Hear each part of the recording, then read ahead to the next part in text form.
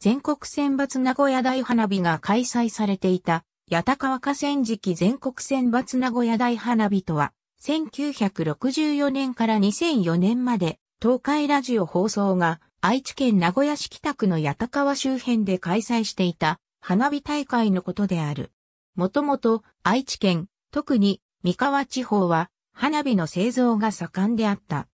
しかし、愛知県には代表するような花火大会がなかったことから、新しい名古屋の納涼景物を作り出そうとの意気込みで、1964年8月1日に第1回大会が開催された。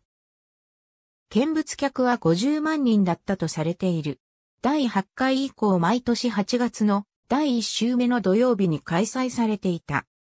明石花火大会歩道橋事故を契機とした愛知県警察の指導により、2004年の第41回大会において、交通規制、安全対策を強化することになったが、翌年の2005年に愛知県で愛知万博が開催された影響で、同大会の警備員の人数が減ることなどを理由に休止となり、2006年に警備、違法駐車、ゴミの問題などの経費増大を理由として廃止が決定された。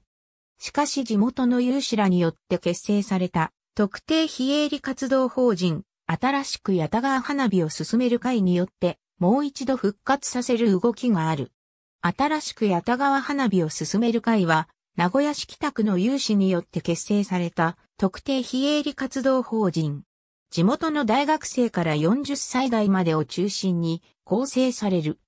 大会廃止後に復活を願っていたが復活せず、自分らの手で大会をもう一度復活させようと2007年、有志らが集まって結成された NPO 法人新しく八田川花火を進める会。ありがとうございます。